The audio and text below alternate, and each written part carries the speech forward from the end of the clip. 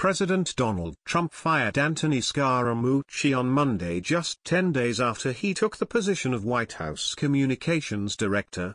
One day later, however, Scaramucci has made a surprising announcement that has left many stunned.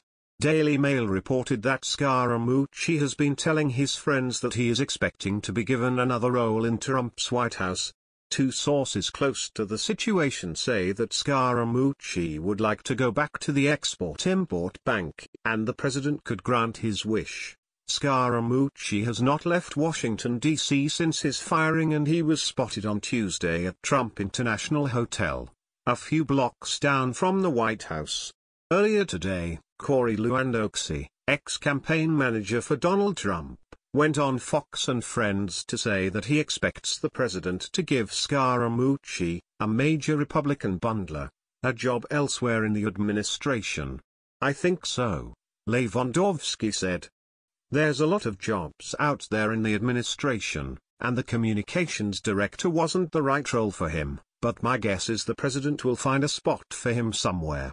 Scaramucci was fired days after he had a meltdown on former White House Chief of Staff Reince Priebus, who he called effing paranoid schizophrenic then claimed that unlike Trump's chief strategist he's not trying to suck my own CK.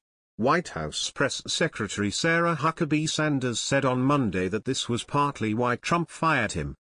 The president certainly felt that Anthony's comments were inappropriate for a person in that position, Huckabee Sanders said. She went on to say that there was a desire not to burden Trump's new White House chief of staff, John Kelly, who had requested that Scaramucci be ousted. Anthony Scaramucci will be leaving his role as White House Communications Director, Sanders said. Mr. Scaramucci felt it was best to give Chief of Staff John Kelly a clean slate and the ability to build his own team. We wish him all the best.